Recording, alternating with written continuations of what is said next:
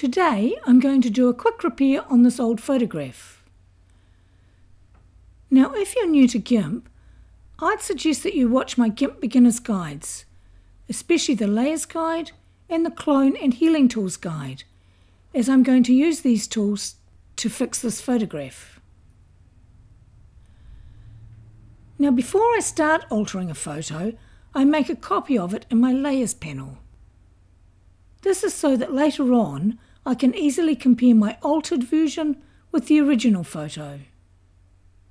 I just click on the Create a Duplicate button at the bottom of my Layers panel and it automatically creates a copy. And now I'm going to zoom up this area here. So I'll click on my zoom tool and zoom it up. I'm going to use the healing tool, so I'll click on that. And because this damaged area is so large, I'm going to increase the size of my brush.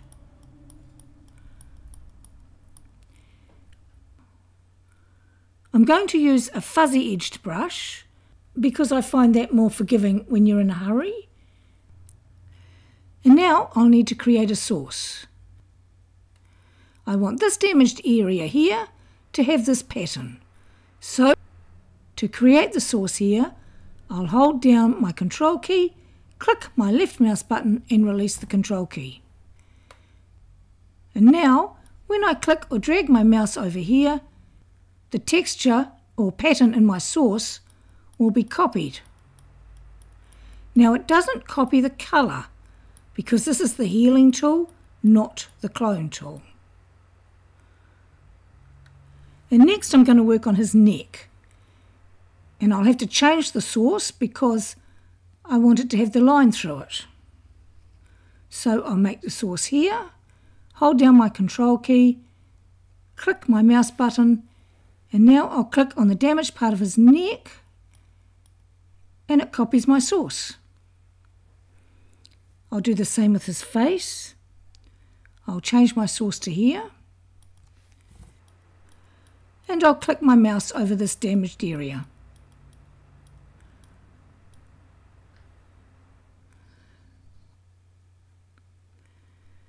And now I'll zoom it back down. I'll compare it to the original photo again, but at the moment I've still got a source visible on this layer. So I'll click onto my paintbrush tool just to get rid of that source indicator for now. And I'll go to my layers panel and on the top layer, which is the one I was working on, I click on the eye and I can now see the layer that was underneath, which is the original photo. When I click where the eye was again, the altered photo reappears and I can see the difference I've made. Next, I'll work on this area of the photo, so I'll zoom it up In this case, I think that the smudge mark here is a different colour. So I'm actually going to use the clone tool. I'll click on it and I set a source exactly the same as I did for the healing tool. I find the area that I want to copy, hold down my control key, click my left mouse button and release the control key. And that is now my source. But this time it's a clone source, so I'm copying the colour as well as any pattern. And I just click or drag my mouse clicking over the discoloured area.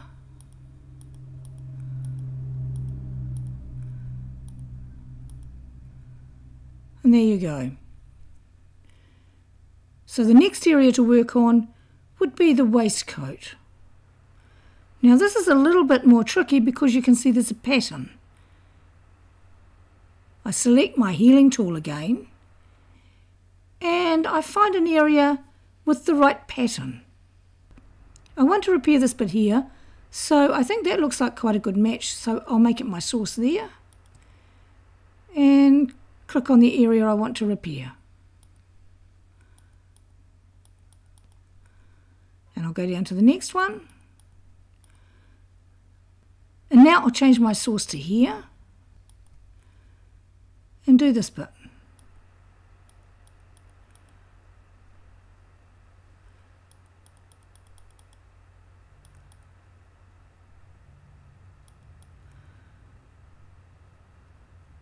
And I think that's not too bad. So I'll look at this area here now. I'll change my source to here.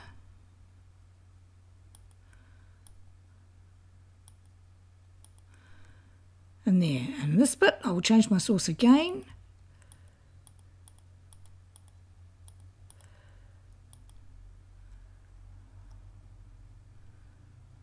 And that's not too bad. I'll zoom it down.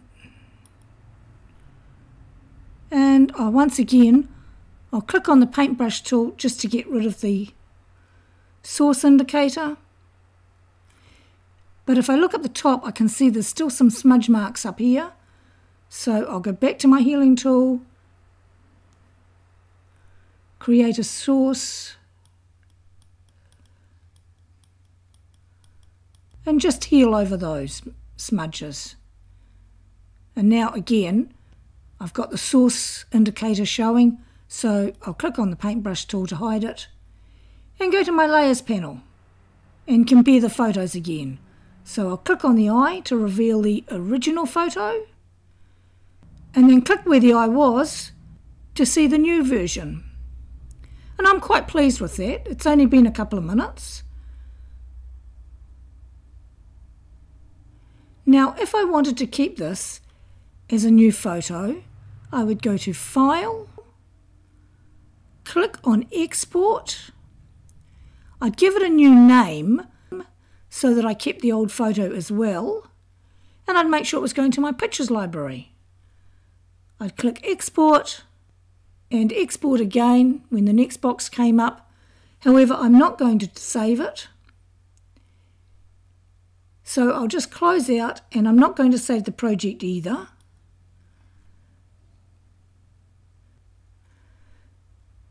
And this is another photo that I recently repaired. And this photo was incredibly damaged. If you look, you can see a lot of it was actually missing.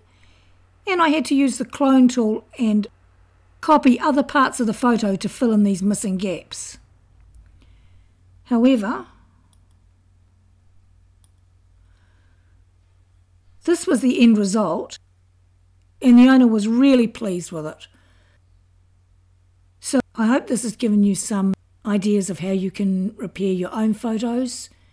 And if you have any problems or suggestions, just leave a comment.